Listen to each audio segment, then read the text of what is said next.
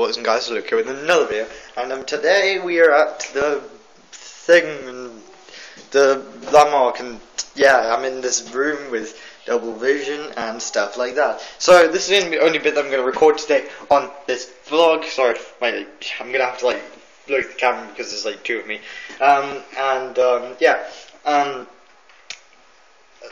we're here at the landmark. I've had a fun time so far.